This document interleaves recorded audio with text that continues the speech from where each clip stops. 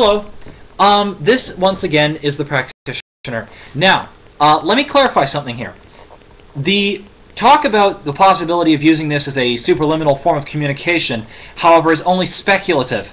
Um, there's been little to no evidence that the uh, actual physical information could be transferred because you need to be able to carry it on particles.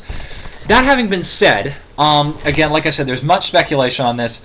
Um, there's even some speculation that uh, various new interpretations of quantum mechanics might be coming up courtesy of qu quantum non-locality, which could even possibly allow for time travel and such things. Now, mind you, these are speculation only. Now, this is the part about pseudoscience. Certain parapsychologists uh, have been automatically suggesting that uh, that because of the fact that this is possible, this non-locality is possible on a quantum level, that this could be an explanation for such phenomena as psychic phenomena, telepathy, precognition, time reversal phenomena, that sort of thing. Now, let me stress something.